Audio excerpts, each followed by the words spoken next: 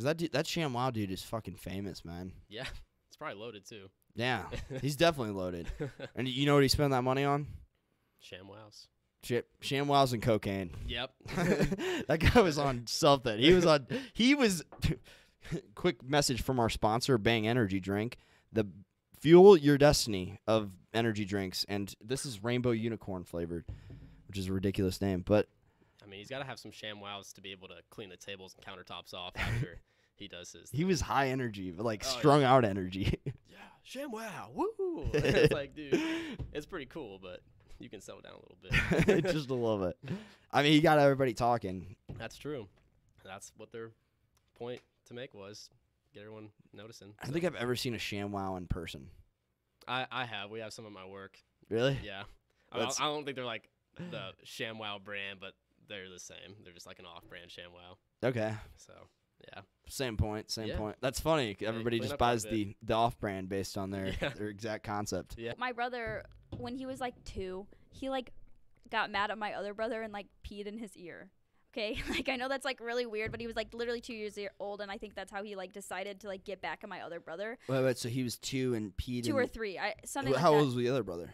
Eight, nine, maybe. He was like sitting there. Oh, the two-year-old peed in the eight-year-old. Yeah, yeah. That's actually pretty creative. He just like peed on him. that's I- and that's I like don't know if actually. it- that- I I mean, don't that's know if it kind of creative as a comeback. You know, Yeah, it's like I like he avoided violence. Like he, Yeah. at least he like he he had the ethical understanding to avoid, like, hey, I don't want to hurt him. yeah. But I just want to ver- make him very uncomfortable. Yeah, but w- I I don't know. I don't even know. I don't really know how the story went. Besides that, and they're watching Space Jam at the time. But I swear. Oh, he was awake. Oh yeah, they were just. He pulled this off while his other brother was awake. they were fighting, and he was standing like standing next to him, and he just pulled it out and started peeing on him. They were fist fighting or yelling. No, they were just arguing back and forth. They were watching Space Jam. My mom was sitting there, and then my mom was like, "Oh my god!" and like has to pick him up, and he's just like peeing across the living room. And I'm telling you the story, but I wasn't even born yet. I, swear I tell it like I was there, but I was in my mom's stomach. you probably just heard it so many times. I've heard it so many times that I picture it, and I feel like I've It's been. probably just the way the memory works. Yeah, and it's weird, and like, also like, okay, so babies don't remember things before the age of three. That's what I heard. There's uh, infantile amnesia, and babies' brains like reroute themselves, and you forget most things. And so a lot of times people have memories, like they swear they remember something from when they were like two, but it'll just be they saw a picture of it and they fabricated this story into like whatever. But I just think it's so interesting because there's so many things that I know that I don't actually remember, but I fabricated it in my head. Like from pictures or from stories I've heard, but it feels like I was there and I feel like it was my memory.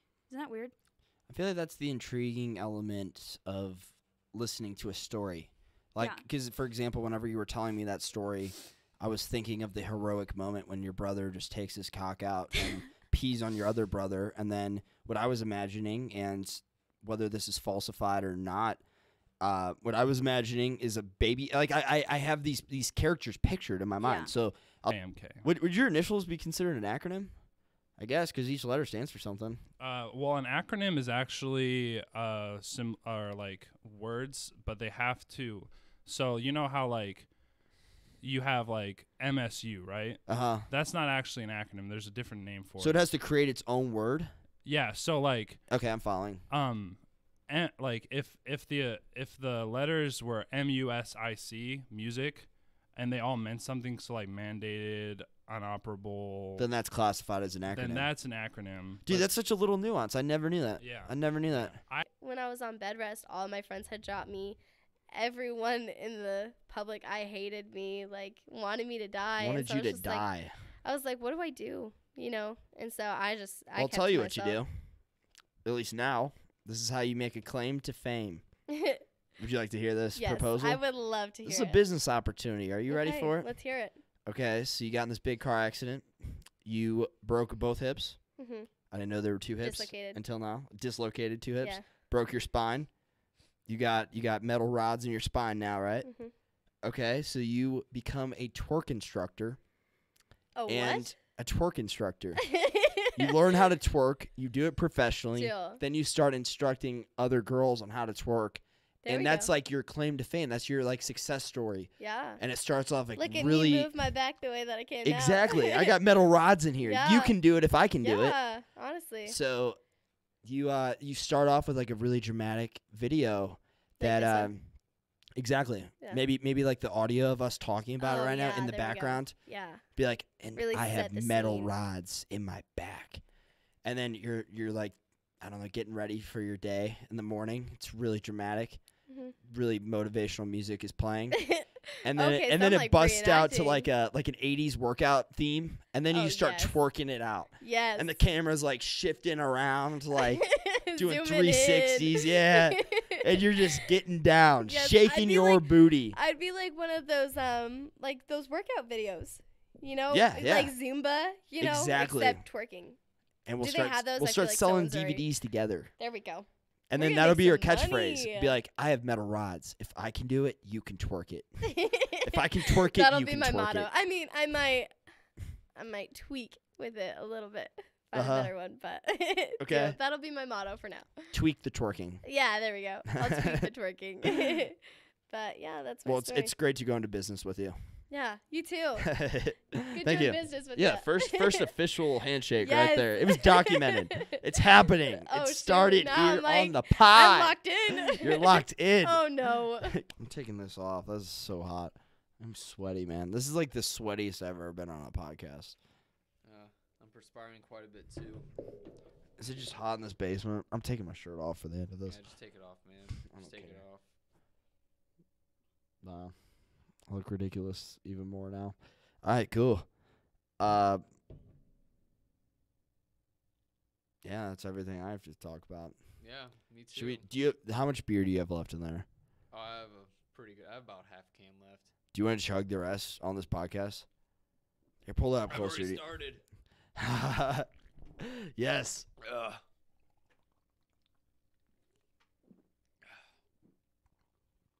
Oh my goodness.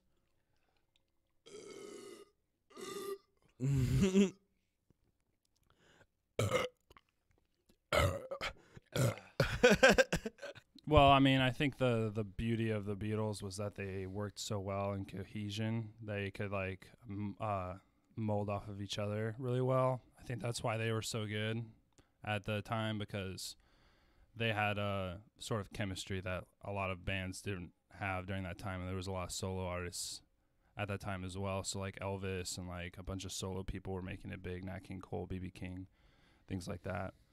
Um, but I feel like the Beatles was the first like you know globalization of a band and uh it, that like, just their whole style of music like really changed and made things a- a lot more uh advanced. That's a good point, man. I didn't really think about it because everybody, everybody else at that time was individual.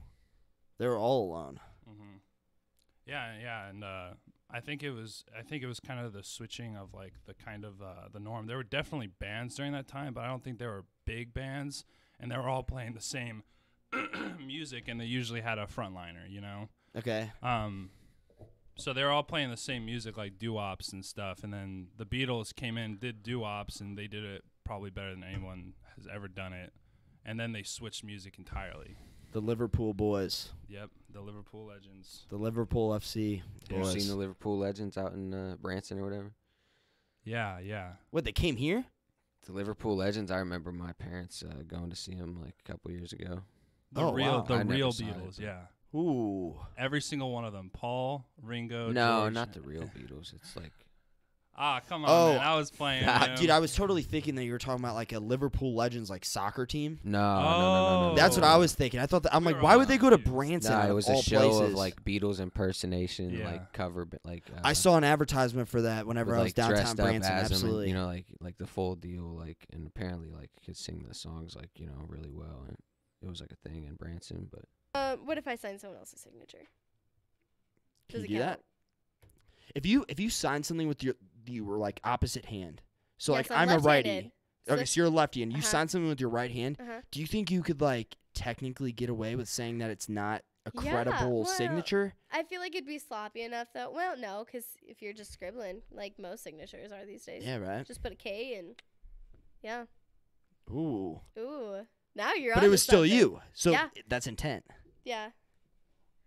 I don't know how that would work, I don't know how that would work either. But they'd have to prove it was you first. Well, I mean, if we're on camera, then there's that. But if it was off camera, Yeah, they can't prove it's me. And then you could just right Do your normal signature and be like, Yeah. that's nothing close to it. Yeah, you can prove that like this is my left hand. And I'm Wonder how you tell signature fraud because I feel like mine is pretty different. Like it's like, how much effort do I want to give this signature? Yeah. Am I gonna like actually try, Yeah. or am I gonna scribble? yeah. That's I mean that's what it comes down I to. I have so to try. I don't know why, but Really? I have to try, and I have to spell out my entire name. I'm only 23. pretty, I've already gotten lazy with my signature. already gotten lazy. well, I'm only 20, so I've got a couple years. you got some years for like the world to shit on you a little bit. I feel like I've, I'm kind of already there. Mm.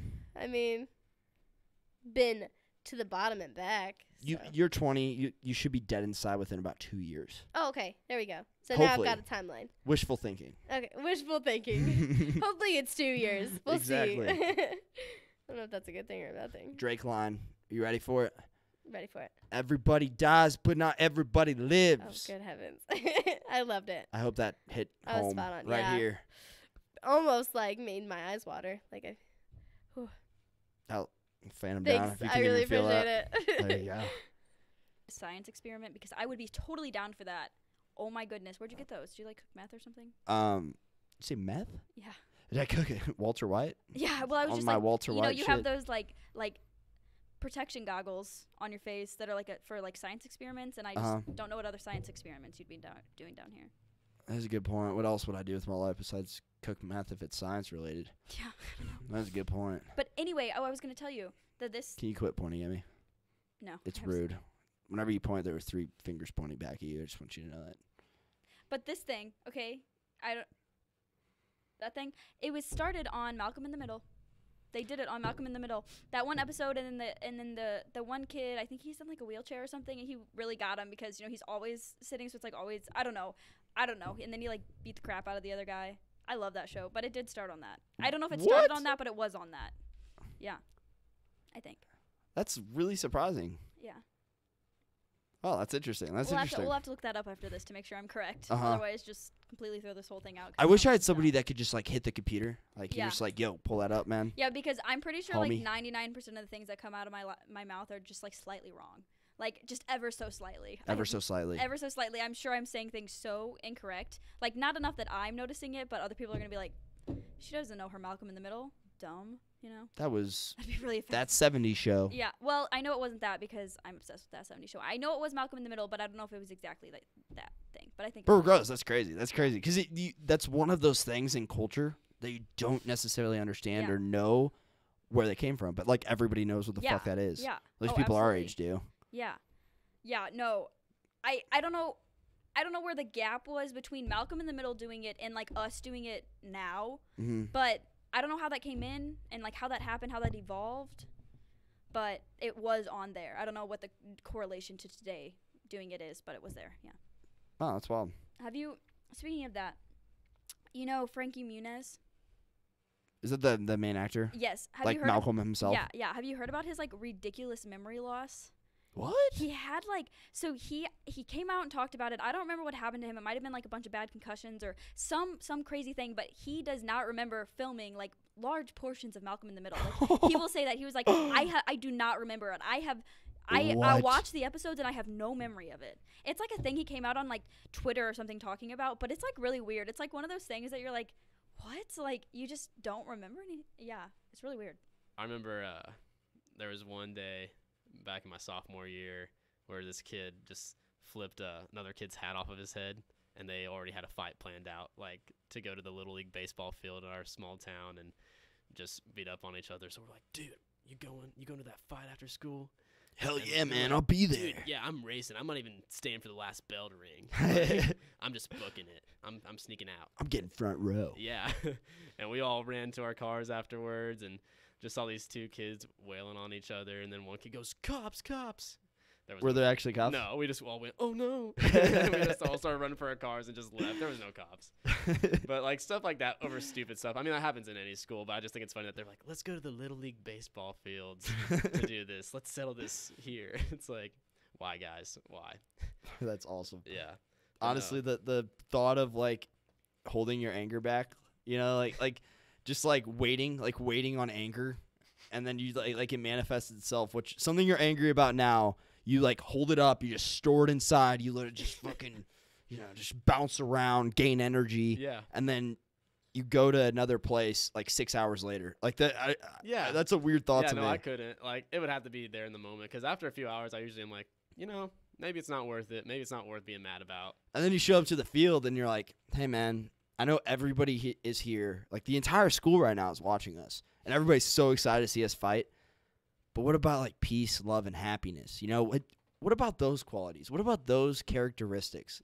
Where is the love? And then you start playing some Black Eyed Peas, some John Lennon, maybe. yeah. And, uh, and then everybody kicks your ass because, and then they call you a pussy. They're like, no, we came here for a fight, and I'm not leaving. That was a good southern accent. Thanks, man. It's all around my town. Okay. Weird how like a lot of times we're attracted to people that are that can hurt us the most. Yeah. There's like that element of like, I want this to work. I want Yeah. this thing to work. I know I've experienced it. I've experienced it. Yeah. No, for sure. I don't know. Love is a pretty crazy thing, man. Or when you think you're in love, at least. Because I've had friends that have dated chicks for their first girlfriends, and it's really it's hurt them in the moment. And now they're like, "Why was I so upset about that?" But I think those first loves are the ones that are some of the hardest to get over. Because you get more realistic. You look at it more pragmatically as like time goes on. You're like, well, you know, maybe these are just certain emotions. I'm not even fully certain that I like this girl. I also like, I don't know where I'll even be a year from now. I might even stay in the city. Like you just get you just get more rational about it. I feel. Yeah, and I feel like with the first first loves, that's all you've ever known is dating that person. You don't know what dating anybody else really is like, or seriously dating somebody else like that is like. So you're like, well, if it ends, my life's just over sometimes because you're like, well, that was who I was supposed to be married to. You have all these thoughts that are going into your head, and in the end, it's not it's not the end, but at the time you're like, oh man, my life's over. I should just give up, and it's like, nah. It's called one-anitis, baby. Yep. one-anitis. Yeah, I agree. I, I think the concept of a soulmate is bullshit. I think it's bullshit. Yeah. No, because I mean, you can fall in love, and or at least think you're in love, but that's just not a person that you need to be with, you know. And There's think about how many people you can fall in love with too. oh yeah, Like there's there's no way that one girl is like destined for you. I mean, I think it's just like some people are more compatible, and then the people that you happen to find that you can actually make it work with, and that's a beautiful thing. I'm not bashing on that. Like if you can if you can make monogamy work for like 50 years, like some people have, that's crazy. And Yeah. kudos to you. I tip my hat to you. That's awesome. But uh, the idea that that person was made for you and they're the only one for you, you maybe could have made that work with like, I don't know, like 10,000 females walking this planet. I mean, it would have been a different relationship dynamic, and you would have had a different connection, maybe like different things about them. But like, I feel like you can learn to love a lot of people. And Yeah. The thought No. that there's only one person out for you, or out there for you, is kind of ridiculous. yeah, no, I I agree. I was doing that. Well, when I looked up, there was a guardrail in front of me, and I was like, "Well, shoot, what do I do?" Like you're heading straight onto the guardrail. Mhm, Yeah. Okay. And like I have two seconds to decide what I'm gonna do. Am I gonna go straight? Am I gonna go right? Or am I gonna go left? And literally, it felt like it was like a five minute conversation in my head, but it was seriously like two minutes or two it's seconds. absolutely incredible how quick your mind works in those Yeah. like dire In an moments. instant. Yeah. Yeah. Whenever you like you look up, one you have to process that you're in danger, and then your mind just like Mhm, shoots channels on. into some other like form of thinking. Yeah, honestly. right? Yeah. So survival. seriously, that's exactly what it was. Wait, so what's on your right? What's on your what's Okay, straight and what's So left? So on my left side, there was another car, and it was like slightly a little bit higher than me. But if I were to swerve, I'd head straight into it probably. Okay, absolutely. That was like in my mind. Going I would 90, head into them. hmm Plus going 90. plus the momentum of exactly. them going 50, What 60, knows, whatever. Who knows if they have a child in the back seat? Um, where they're headed? You Are know, you I thinking about all them. this in that split Oh, yeah. second? Oh yeah, in those two seconds, like Woo! I'm like, what if they have a child in the back seat? Like, there might be a cliff on that side. You can't really see anything because there's guardrails. So I was like, there might be a cliff on that side. I'm assuming so. And I was like, well, if I go right, there's a mountain. And I'm not injuring anyone else if I'm going into the mountain. I could possibly stop myself because I know if I break, I'm still going to go straight into this guardrail. And I know it's going to, like, impale my car. And It's like the most definitely- noble two seconds. Of human existence. I've never. Wow, that's crazy. well, thank you. I I'll drive that. off this cliff so I don't hurt the person. Well, I didn't It- know it was a cliff, but Oh, okay. but yeah, I would rather take that chance than run into someone else and drive them off a cliff. So you intentionally drove off the road. Yeah. Okay, absolutely. Well, yeah, I like swerved my car into the mountain because I decided I could go uphill a little bit, stop myself, and then I could get back on the road, drive back around, reverse, whatnot, you know. So I decided to go into the mountain and not thinking that there's a guardrail for the reason. Um, I hit a little, a little divot, and my car caught onto it just perfectly. When I tried to correct, it flipped my car up, and I went on two wheels, and I cartwheeled all the way down. I don't know how long I was spinning for Oh wow. but I my seatbelt was on me and it completely like ripped off of me. Like the thing I don't know what it's called, but that holds the seatbelt was Yeah. completely like ripped out and shredded. And because of the impact, I had like gash wounds across my body from it. Yeah, it was crazy.